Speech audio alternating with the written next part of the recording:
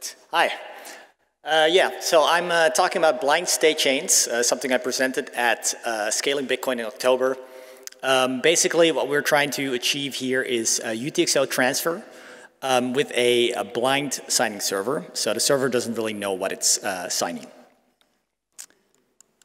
So I was asked to give this talk uh, on Friday, so I had to kind of in, uh, think of something to add to, you know, break something because that's the conference. So what are we breaking? Well, um, I'm trying to break the definition of a payment processor. So what it is to process a payment, to send a payment. And one way to think of that is, um, well, that we already have a few of these protocols that do something along these lines. So for example, if you have a two of two, uh, where there's Alice and Bob, and Bob has a time lock transaction that goes back to Bob, well, the question is, does Alice control the money? Well, uh, the answer to that is no, because if given enough time, uh, the time lock becomes valid, and now Bob can get the money back.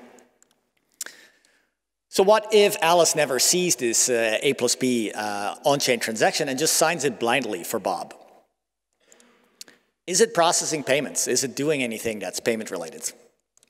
Well, uh, you know, it's questionable, right? Like, it's, it's kind of like, well, the answer is kind of no, right? They're just signing. So the, the observation is that all the knowledge and power lies with Bob, right? So Bob is the one who's asking for the, uh, the signature. Alice doesn't know what it's signing. Uh, Bob has the time lock transaction, so Bob has the final uh, power over uh, where the money goes. So um, we kind of take this functionality, and uh, obviously this is just kind of a two of two multi-sig, right? This is nothing special, uh, but we are, uh, you know, we can simplify this into a blind uh, signing server that essentially uh, generates a new key for a user, so that's creating a new chain. And then secondly, uh, that user can then request a blind signature and point to the next user that gets to request a blind signature. And this is appending to the chain. So the server is very basic. Um, all the heavy lifting or all the complexity is really on the client side, and that's kind of what we want to see. A server doesn't do a lot of thinking, it just signs things for people. So the end result is kind of a linear blockchain um, where the first, so the first step is you generate a uh, server key for, uh, let's say, Bob. So now Bob has control over the server key. Bob requests a uh, signature and then instructs the server to listen to Carol. And then Carol requests a signature and tells the server to now listen to Dave, etc. So really, we're transferring the signing rights in, in, in a blind way, right? Where, Alice, uh, where yeah, Alice, the server, uh, is constantly signing for Bob, then Carol, then Dave, one signature per user. Assuming the server is honest, this works. Um, yeah, so just a quick, uh, you know, um, thing that to point out is that state chains require Schnorr signatures, which are hopefully coming soon, uh, adapter signatures, which basically when we have Schnorr, we can do uh, eltoo, which is maybe a little bit farther away, so that might take a little while. And optionally, uh, Graftroot, which is probably, mm, yeah, that's going to take a while. So we'll, we'll, ignore that for now, but it would be nice if it's in there. And uh, yeah, because of that, it works really on any cryptocurrency that supports this. So not just Bitcoin, but you know, my focus has been Bitcoin. Um, so yeah, to just uh, give kind of a, uh, an overview of like how you can use this uh, practically. So, so this might be a little wordy, but uh, later on I'll, I'll, have an example with the actual UTXOs that you can kind of visualize. Um, so what uh, Bob does is it creates a transitory key, uh, which is a key that is going to be passed on from user to user to user. So this transitory key is like you know transit, and it's like yeah, you don't you use it once, and then you pass it on. You pass on the private key. And, and with this, uh, it takes the server key A and this transitory key X, and it creates a, a an AX uh, key, right? With Musig on Schnorr, what you can do is you, you, you, turn it into a single key. So then, in order to sign with this, uh, this AX uh, public key, you first request a blind signature from the server, and then you sign it with, A, uh, with X. And now, in order to transfer the ownership over this, this AX key, uh, you basically pass on the private key and you pass on the signing rights, right? That's what we do with the blind server. First, Bob was the one who could request the signature from Alice, and now Carol's the one who can request the signature from Alice. So here's a, you know, what it would look like. So on the state chain side, we start off with the server uh, now listening to Bob. Bob gets to request a signature. What's the signature Bob uh, asks? Bob asks for an eltoo off-chain transaction where he receives, let's say, one Bitcoin. So this is an off-chain transaction, and there's actually no Bitcoin yet, because first, he needs this time-locked transaction that guarantees that he gets the money back, and then he goes and he actually sends a Bitcoin to this AX um, UTXO. So the current state is that Bob now still gets to request a, a signature from the state chain, and if the state chain uh, does nothing, then Bob can just send this uh, off-chain transaction on-chain and receive, get, get his money back. So now Bob asks for another signature, and this signature is another eltoo update transaction where now Carol gets the money after the time expires. And since it is using eltoo, it means that uh, even if Bob now sends this old off-chain transaction to the blockchain, uh, Carol's transaction actually has uh, um, priority, so Carol can always send hers even after Bob sends uh, the one he has. And now, at the state chain side, it's Carol who gets to uh, decide the next signature. So basically, this is how we pass on a UTXO from person to person to person. And yeah, of course, X also has to be um, given to, to Carol. So really, you know, Bob and Carol now have the same amount of knowledge. They both know X, uh, and on the state chain side, the, the state chain will only sign on behalf of Carol. Therefore, Bob has no longer any control. So practical results is, yeah, you're, you're changing the ownership without changing the key. And that's kind of something novel. And the server doesn't know X, right? It doesn't have this private key. So really, it has no control. If the server disappears, we have the off-chain transaction that we can send on-chain and we get the money back. So even if Alice just disappears tomorrow, everybody can go and send their on-chain, uh, off-chain transaction on-chain, get their Bitcoins back. And they're blind signatures, so really the server doesn't really know what it's doing. It doesn't even know it's signing Bitcoin or timestamping something or, or, whatever. It's just listening to uh, whoever is next in the chain and signs for them. So this does mean that the users have to unblind the signatures and verify what the, uh, the state chain has signed, because if you don't do that, uh, you might not have the correct update transaction. So if you go back here, um, it could be that actually Bob's eltoo transaction has priority over Carol's. So you have to unblind the signatures and then check that. And yeah, so on the server side, really, you just promise to only cooperate with the last owner, right? The last person that uh, is in the chain. And the server, th this is important, right? If we just put a single third party in there, that's not great. So what we do is we replace it with a federation. And you can do this with a Schnorr threshold signature. So uh, it might be like an 8 out of 12 federation, something similar to federated sidechains like Liquid. Um, so this whole group has to together cheat in order to do something bad. And all the blind signature requests, uh, they, they have to be published. And this is needed because you need something to prove cheating. Uh, because if the server signs without a user request, uh, that would be cheating. And if the server signs uh, twice for one user, that would also be cheating. And this would be kind of like the analogy to having two histories in a blockchain. So here's uh, kind of a few examples to kind of give, give you a better idea of what's going on. So this is a simplified model of what we, we saw earlier, but it's essentially the same thing. So this is just Bob transferring to Carol. And we're using eltoo, so this Bob transaction never has to hit the blockchain. Carol can just send uh, hers right away if they want to get out of the state chain. Uh, it's all blinded, so that means that really on the uh, state chain side, you're only seeing uh, this Bob, uh, Bob uh, requested a signature, Carol requ requested a signature, and nothing else. And we're utilizing adapter signatures, and this is important to make sure it's all atomic.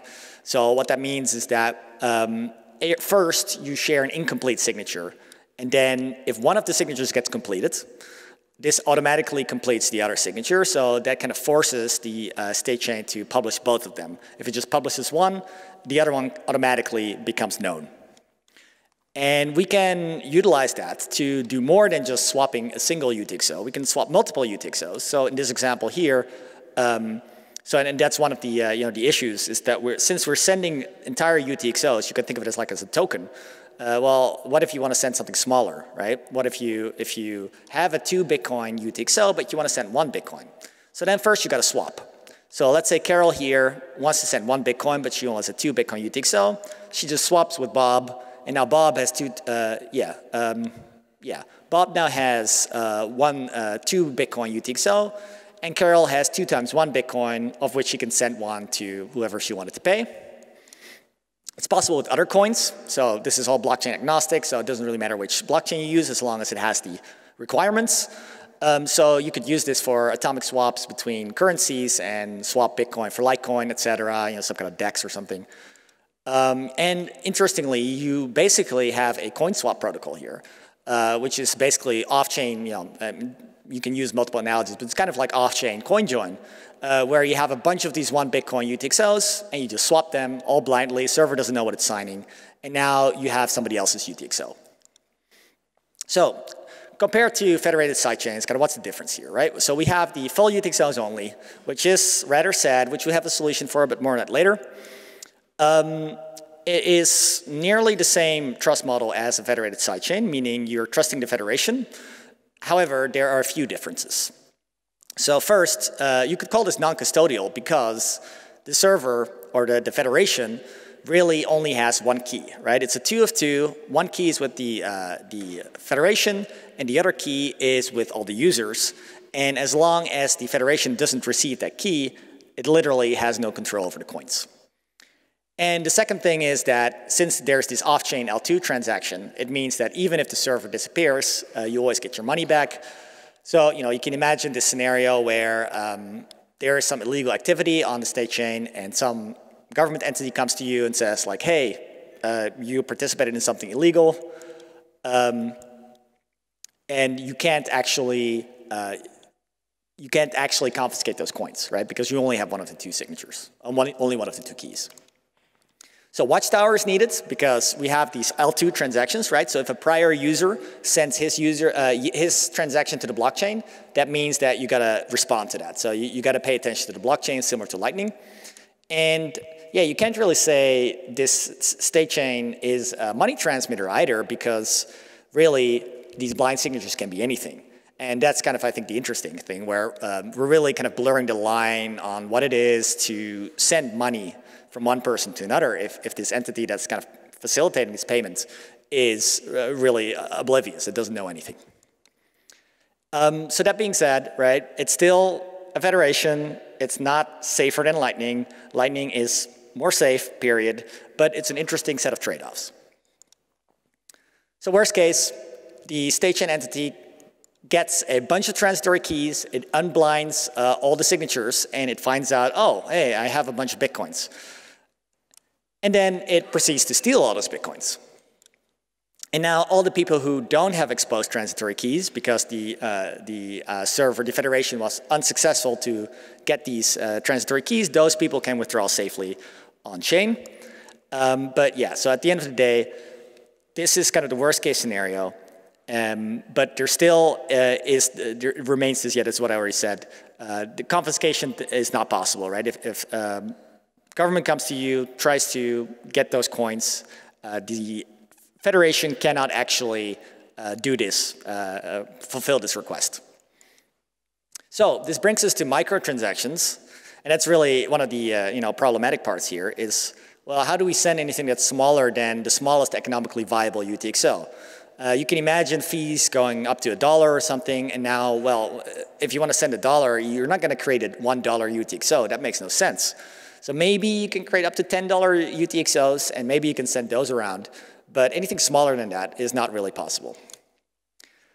And you really need something like that if, if you want to charge fees for your service, right? You got to receive some payments for, for signing, these trans uh, signing these transactions or, well, signing these messages, really. You don't know what you're signing. Uh, and it's also needed when you swap between currencies because the example I gave earlier, I think is 200 Litecoin for two Bitcoin or something. Uh, that's not the same amount. So, you know, you have these small uh, differences and you got to pay those as well.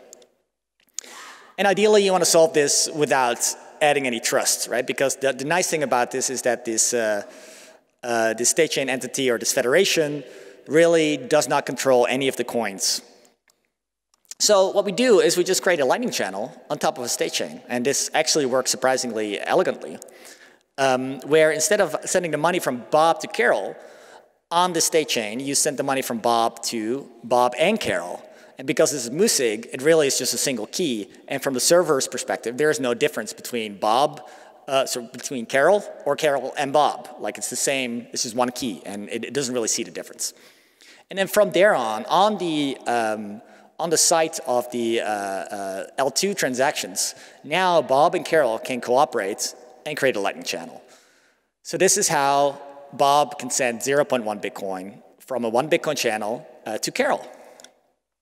And this is really nice because uh, you can basically do these atomic swaps uh, and update these lightning channels simultaneously uh, if there is some kind of problem uh, and you have to close your channel, let's say you know Bob and Carol have a channel, channel together and Carol stops cooperating, uh, you can just close on-chain without the cooperation of the federation. Uh, and in fact, the uh, transaction size is the same as regular eltoo, so you're not even you know, adding more uh, on-chain overhead. you can close and reopen channels without friction because it's all off-chain. Uh, for channel factories, and this is something Anthony Towns uh, pointed out, you can uh, actually add and remove members uh, to, uh, to the channel factory, uh, which is very convenient in, in terms of um, trying to find a, a, group of people that you continually cooperate with. so you can imagine a scenario where um, you're starting off your Lightning channel, but you're not entirely certain who you want to cooperate with and how cooperative they're going to be. And first you open it on, the, on a state chain, and then later on, once you have the stable channel that doesn't really need closing, uh, then you move it out of the state chain and on chain where the, you know, you're, you're out of the reach of the federation, so that's more secure. So you could see it as kind of like a, a step uh, towards uh, first balancing your channel and then moving it. Um, yeah, so really the, the key insight here is that the nice thing is that with Lightning, Lightning is completely trustless, but you have this problem where the throughput is limited. Right? You can't send more than your uh, routes allow. If there's a route to a person you want to pay and there's only one Bitcoin inside of that route, well, you're never going to be able to pay more than one Bitcoin. Uh, and, but it is divisible, right? And that's the opposite problem we have with state chains, where it's no problem. If, if I have a one Bitcoin UTXO, I can give it to anyone. But if I want to send some, some smaller fraction, now I'm in trouble. So we combine the two, and it kind of works out really elegantly.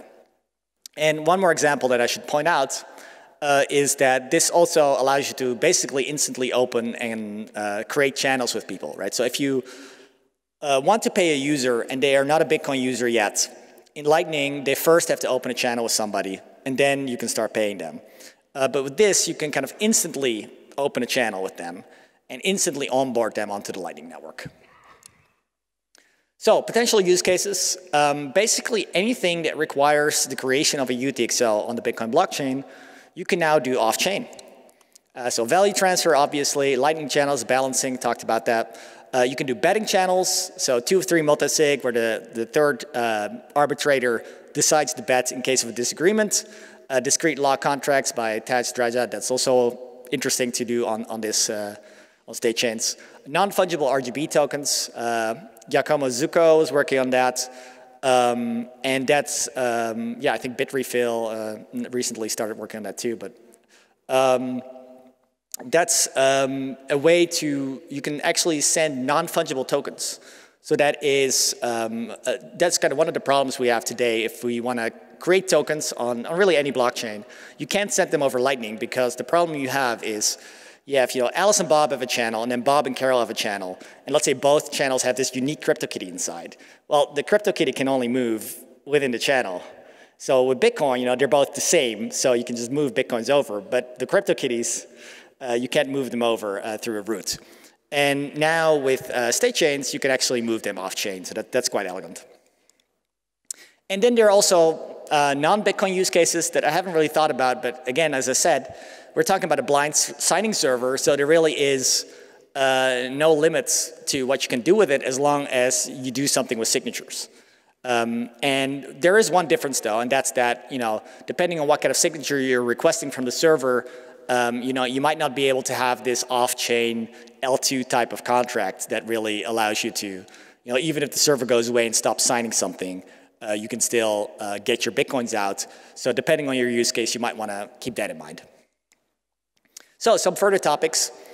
Uh, this transitory key uh, that we've sent out from user to user to user uh, could be sent out through a hardware security module. So you could have this hardware security module that um, facilitates the transfer from Bob to Carol to Dave.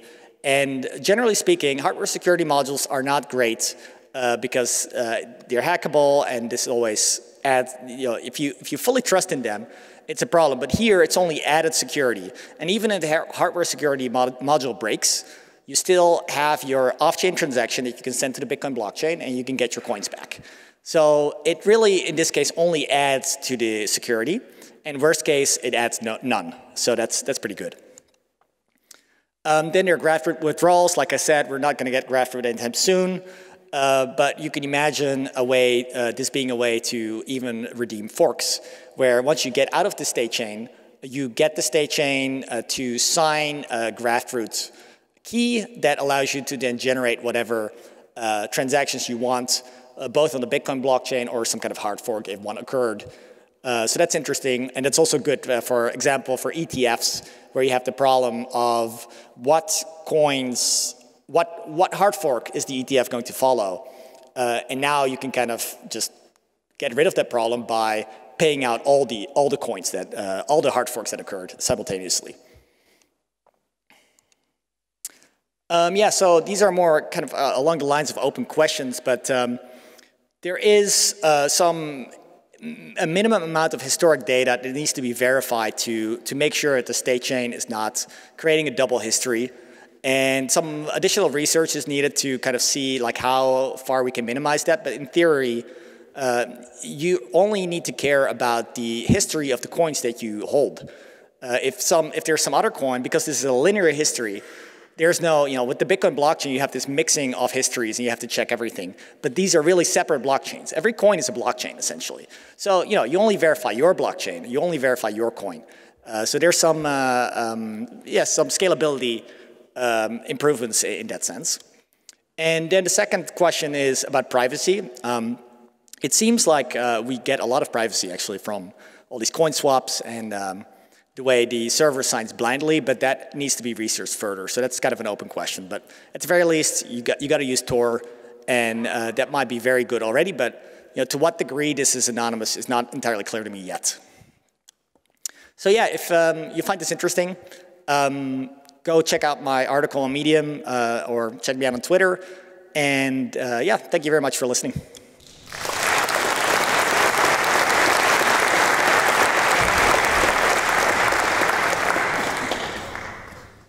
On the uh, Twitter, uh, sorry, on the Medium article, there's also a link to my previous talk and my paper uh, and a mailing list post. So you can find more details there too. Hi. Um, in this blind signature, what exactly is blinded? Um, in other terms, how do I, as a state chain entity, know that um, the UTXO belongs to the correct owner? Um, so that's the, that's the thing, right? You don't really know what you're signing, so that it's really up to the um, recipients to, to verify. So if we, if we move the, the, the, money from Bob to Carol, then Carol needs to unblind those signatures and verify what was signed. So uh, if, uh, if Bob here requested something that's, that's different from an eltoo signature, and maybe it just said like, okay, well, send, send me all the coins or something. Uh, if that was the case, then once Carol receives the money on the state chain and unblinds the signatures, Carol will just say, well, that's not a valid payment. So that is, that is basically the security model. model. And this is similar to uh, Peter Todd's uh, client-side validation, where basically you expect the client to validate whether the payment is valid or not. So there's privacy towards um, the state chain, but not privacy inside the line of signatures? Um, you could, well, the, the server is blinded.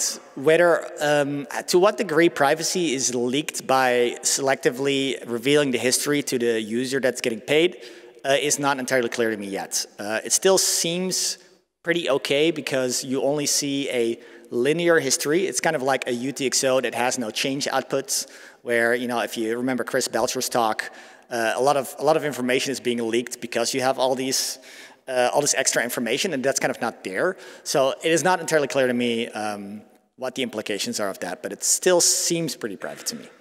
Thanks.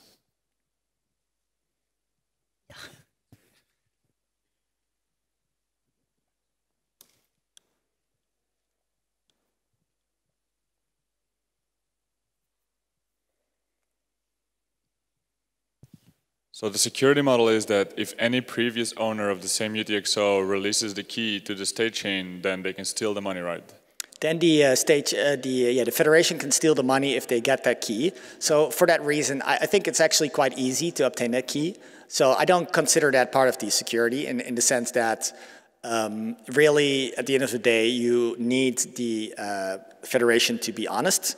Uh, I think that's more interesting from the perspective of regulation uh, where if, you know, if I really got to confiscate your coins, now I got to go to these users and convince them to give me that key that I don't have. Uh, so that's, uh, it's kind of more of a layer of separation rather than, uh, I think, a security feature. Okay, so you rely on trusting the state chain because otherwise yes. you do coin joins or coin swaps and you don't know the identity of all the other people that are passing around your private key. Mm -hmm if anybody of those guys gets hold of the state chain key or the state chain of any of those guys' keys, then the money is gone, right? So I, I, I uh, sorry, but the, with the atomic swaps or uh, the in, in, any way, like only the gonna, federation can cheat. Your right? UTXOs with people you don't know, you're you're kind of trusting them in some way. Um, no, the people the people they cannot cheat. If the federation doesn't cheat, then none of the none of the users can cheat. They can hack the federation, or the or they. Yeah, yeah, yeah. No, no. If, if the federation fails, then the okay. uh, the coins can be stolen. That is that is the bottom line. Yes. Yeah.